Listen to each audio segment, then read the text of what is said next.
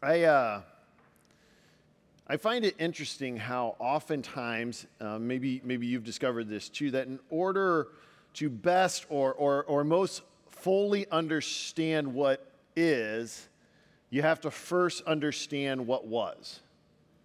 Um, to, to order to understand the present, we have to look pretty deeply at the past. The story of, of our history has this unique ability to, to shed light into our current reality.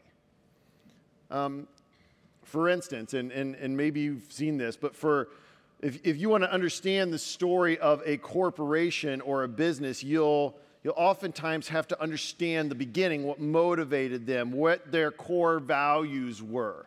As they launched, Apple Computers is a perfect example of this, right? They're, they're big fans of, of telling the story of their humble beginnings and how their, their two founders launched this multi billion dollar corporation out of Steve Jobs' family garage in the mid 1970s. Um, they lean on that. They lean on that history and that story um, because they want to continue to shape who they are presently they want their employees to know and to maintain the same sort of spirit of innovation and creativity that they believe existed in that garage some 40 years ago. So they tell the story. Oftentimes, corporations will have, have timelines or they'll have pictorial sort of histories predominantly displayed because they want everyone that works in that place to have a greater understanding of how they arrived there. They want their past to help inform where they're going. We do the same thing, I think, with, with people all the time. As individuals, if you really want to know somebody, if you want to know something about them, we get to know their family. We learn about the community that they grew up in and about what factors ultimately shaped their personalities and their dreams. If, if you wanted to know more about me, then you would need to travel back with me to, to a small town in rural Ohio on the far southwest side of the state, where you could get anywhere that you needed to go in 15 minutes by hopping on your bike, where the highlight of the summer, any summer, was the county fair and what took place there. Whereas a little leaguer, you would feel like a major leaguer because your whole team would be cheered and waved at as you drove slowly through the streets in the back of your coach's 1970 El Camino uh, for the Little League Parade. I was raised around family, around aunts and uncles and cousins and grandparents, and all of these things shaped me. They all are a part of, of who I am. My values, my worldview, and in many ways, my, my dreams, my ambitions, and how I raise my own family. To understand who I am now, you need to know who I was then. I think that this is also true for us as the church. Across the world, there are literally thousands of denominations with an estimated 2 billion people who identify themselves as Christians. You can find every kind of worship style, every kind of preaching possible. And yet, in many ways, we are very, very different. But if we name the name of Christ as our Savior, then we trace our beginning right back here to Acts chapter 2. Additionally, if we are to understand our own identity as a church, as the church, how did we get here? What has brought us to this place? We've talked a lot about that in Growing to Serve, understanding our history, that God has put us here. If we are to live out the call and the purpose that God has given us, then we need to understand our history, our beginnings, to make sure that we remain aligned with the vision that God had set before us from the very beginning. If we are to understand who we are, then we should be able to have and understand where we came from. This brings us back to Acts chapter 2. As a church, I think um, if you've been here the last couple of weeks, you know this, but we're in the beginnings of a series, a nine month study of the book of Acts, which interestingly enough is, is a record of the birth and the growth of the church. It's the story of our beginnings. And it is the utmost importance in shaming and shaping and informing who we are and what we are to be about today. Well, this is why this is so vital. So we're going to pick things up here in Acts chapter 2. We have a tendency, I think, when we look at Acts chapter 2, at least I do, when we talk about preaching or, or teaching from it in Acts chapter 2, we have a tendency to sort of focus on the beginning of the chapter. Um, we like verses sort of 1 through 8, where there's this description of wind and tongues of fire and this dramatic arrival of the Holy Spirit at Pentecost. Or we have a tendency to kind of go to the end of the chapter, verses 42 through 47. We focus on this description of community that existed in the infancy of the church and the model, the prototype this is for genuine community for us even now. I think sometimes we forget, we overlook these, these middle verses in Acts chapter 2, where we see Peter deliver this incredible sermon. The first sermon ever recorded in the history of the church. And ultimately, the, ser- uh, the sermon that would launch the church into the ministry and the mission that God had set before it. So let's pick things up together now here in Acts chapter 2, verses 14. This is a, a we're going to read all the way through verse 41. So we're going to, um, this will be a big section of scripture. But let's hear this together. But Peter, standing with the eleven, lifted up his voice and addressed them Men of Judea and all who dwell in Jerusalem, let this be known to you and give ear to my words. For these people are not drunk. We'll talk about that in a minute, as you suppose, since it's only the third hour of the day. But this is what was uttered through the prophet Joel. In the last days it shall be, God declares, that I shall pour out my spirit on all flesh. And your sons and your daughters shall prophesy, and your young men shall see visions, and your old men shall see dreams. Even the male servants and the female servants in those days I will pour out my spirit, and they shall prophesy. And I will show wonders in the heavens above and signs on the earth below blood and fire and vapor of smoke. And the, shun- and the sun shall be turned into darkness and the moon to blood before the day of the Lord comes, the great and magnificent day. And it shall come to pass that everyone who calls on the name of the Lord shall be saved. Men of Israel, hear these words Jesus of Nazareth, a man attested to you by God with mighty works and wonders and signs that God did through him in your midst. As you yourselves know, this Jesus, delivered up according to the definite plan and foreknowledge of God, you crucified and killed by the hands of lawless men. God raised him up, loosening the pangs of death because it was not possible for him to be held by it. For David said concerning him, I saw the Lord always before me, for he is at my right hand, that I may not be shaken. Therefore, my heart was glad, and my tongue rejoiced, and my flesh also will dwell in hope. For you will not abandon my soul to Hades, or let your Holy One see corruption. You have made known to me the paths of life, and you will make full the gladness with your presence. Brothers, I may say to you with confidence about the patriarch David that he both died and was buried, and his tomb is with us to this day.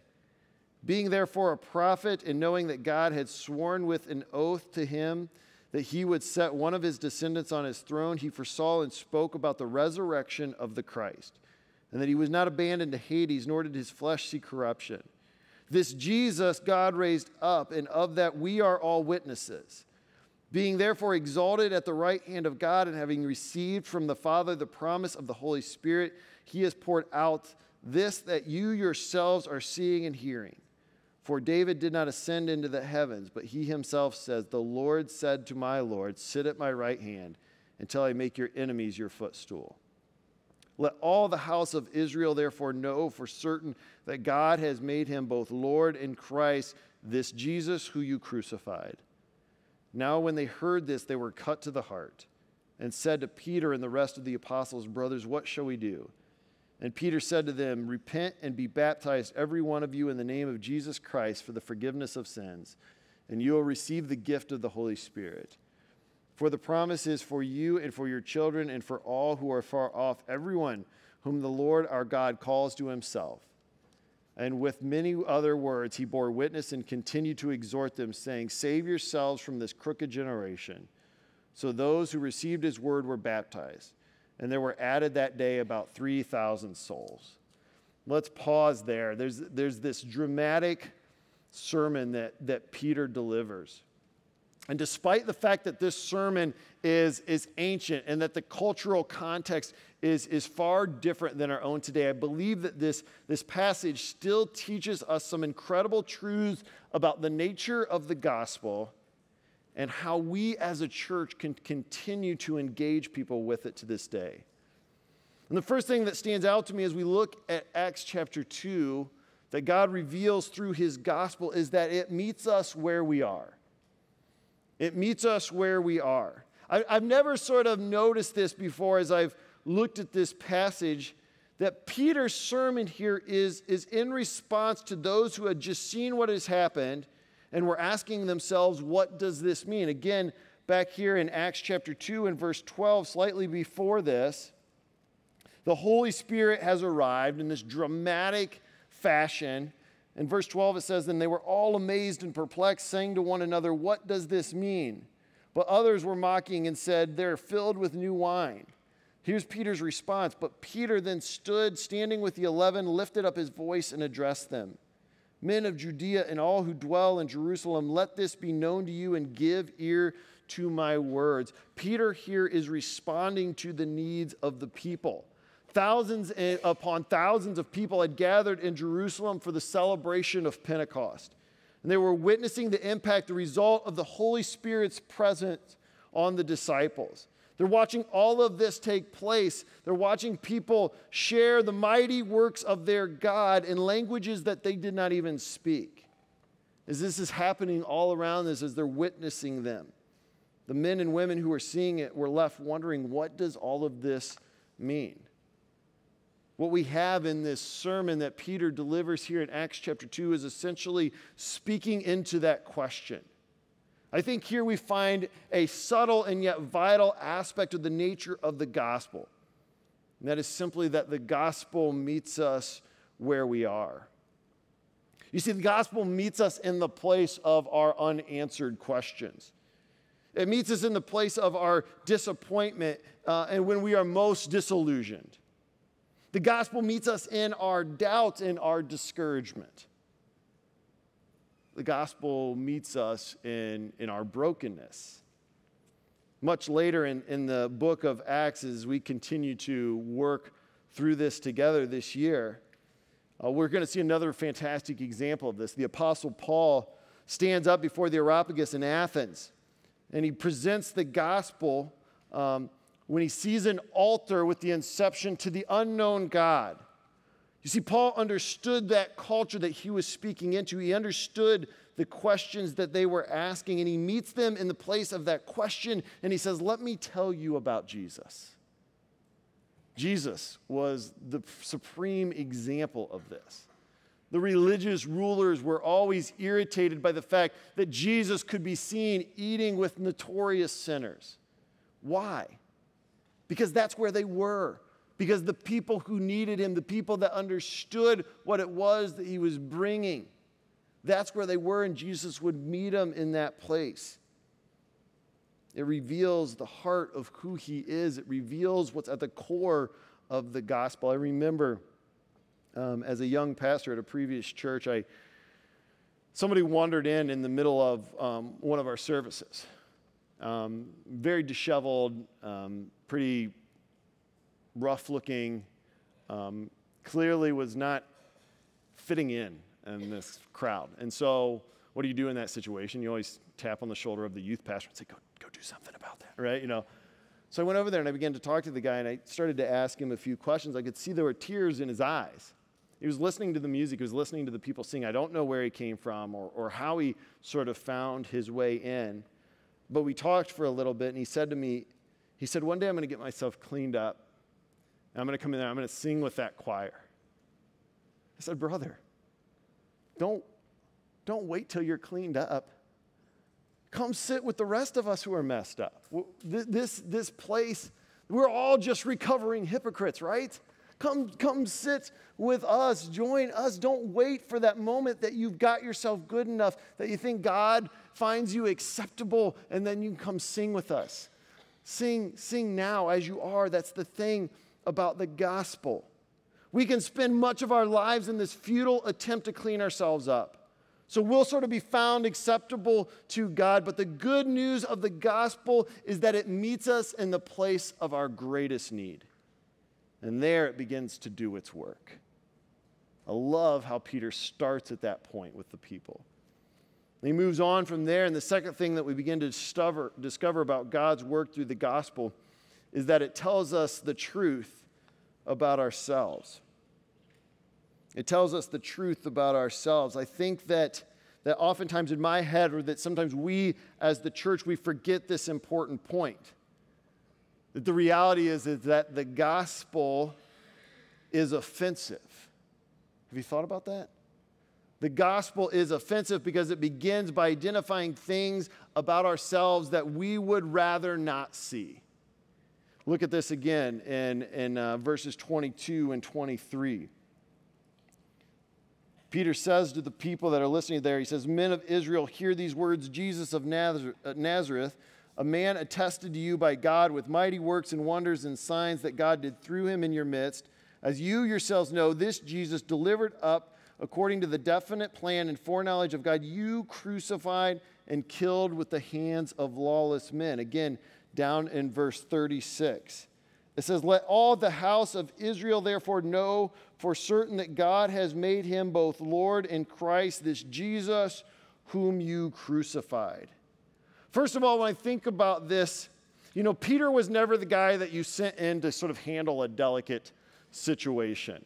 Um, he had a history of, of being impulsive, of, of being blunt, and, and sometimes even putting his foot in his mouth. And in this context here, Peter does not pull any punches with the ones who are listening to him.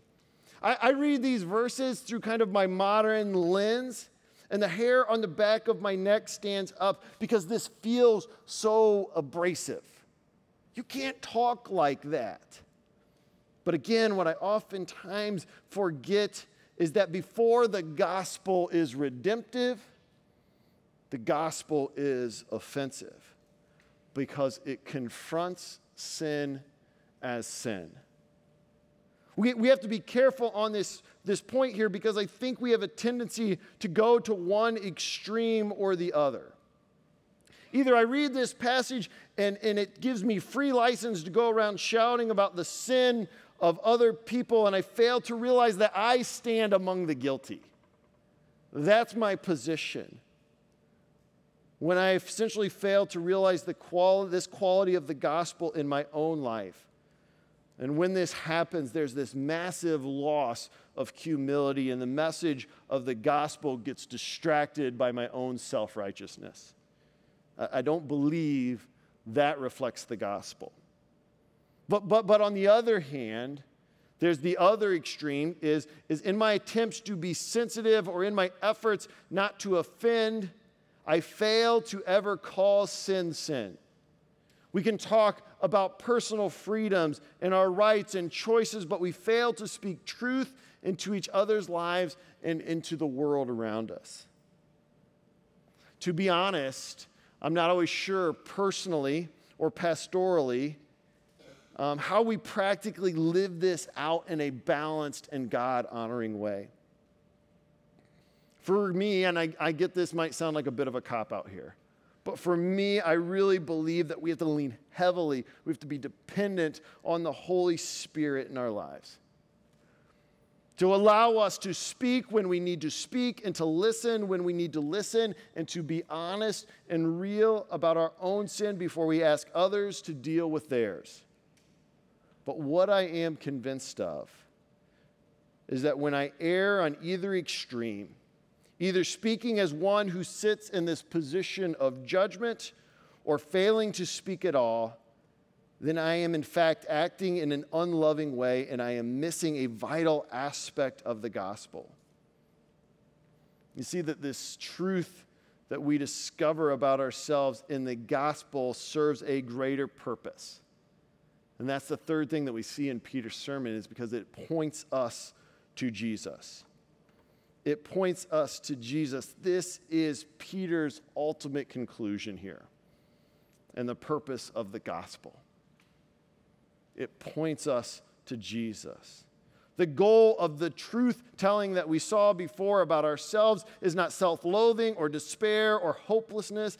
The goal of this awareness of the spiritual disease of sin is meant, meant to allow us to find the cure in Jesus Christ, our Savior.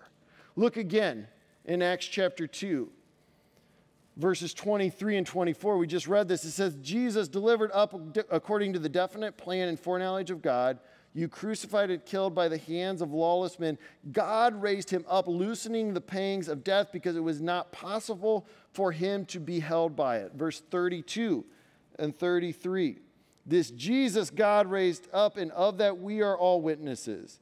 Being therefore exalted at the right hand of God, and having received from the Father the promise of the Holy Spirit, he has poured out this that you yourselves are seeing and hearing. And then again in verse 39, for, and I love this, for this promise is for you and for your children and for all who are far off, everyone whom the Lord our God calls to himself. I love the way Peter sees this. Peter immediately offers those who heard his voice the solution to their most fundamental and unresolvable problem, and it's Jesus. This is the gospel that, that God so loved the world that he gave his one and only Son, that whoever believes in him shall not perish, but will have eternal life. This is the gospel that Christ carried my sin he carried your sin to the cross. He took the punishment so that I could experience freedom. He died so that I could live. This is the gospel. Imagine for a moment the depths of that kind of love. When we even begin to grasp that, when that even begins to penetrate our life, it is overwhelming. And the beauty of it is, is that it's it's not been imposed on us, it has been poured out to us. This is the gospel. This is love. Not that we loved God, but that He loved us and sent His Son as an atoning sacrifice for sins. I love the way that Peter sums this up in Acts 2, saying about Jesus, This promise, this promise is for you. There's one last but vital truth that we see and that God shows us through his gospel, and that is that he calls us to respond. He calls us to respond. See this again in verses 32 and 30, or no, excuse me, 37 and 38. Now they heard that, now, though, now when they heard this, they were cut to the heart and said to Peter and the rest of the apostles, Brothers, what shall we do? And Peter said to them, Repent and be baptized, every one of you, in the name of Jesus Christ for the forgiveness of sins, and you will receive the gift of the Holy Spirit. You see, when we experience the truth of the gospel, when God meets us where we are, when He reveals to us the truth about ourselves and the gift that is available to us in Jesus, then we are left with the same question that they faced when they heard this sermon some 2,000 years ago How will I respond?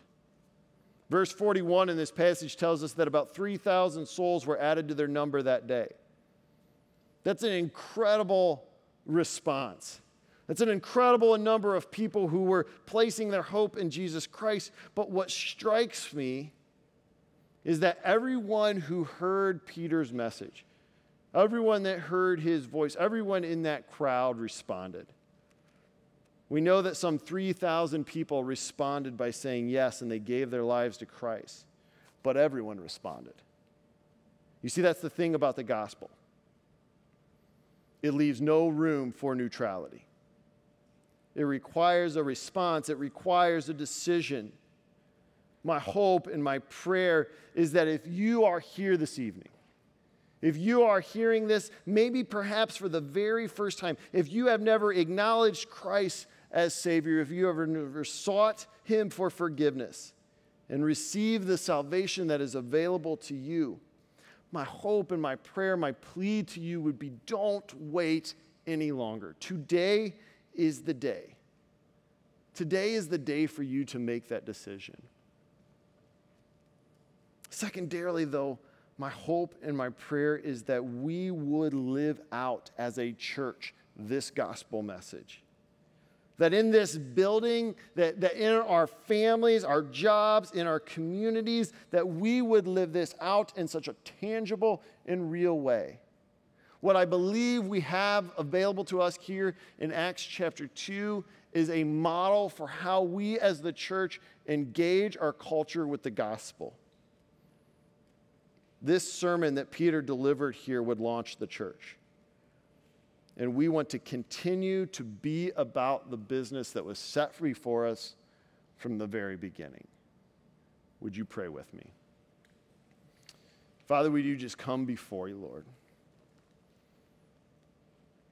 That this Jesus, this Jesus that we read about in Acts chapter 2, who died and suffered on a cross so that we might be saved. Or we have hope because of you. God, don't allow that truth to go away today. Lord, make this a day of decision. Lord, I pray that we would be about this as a church.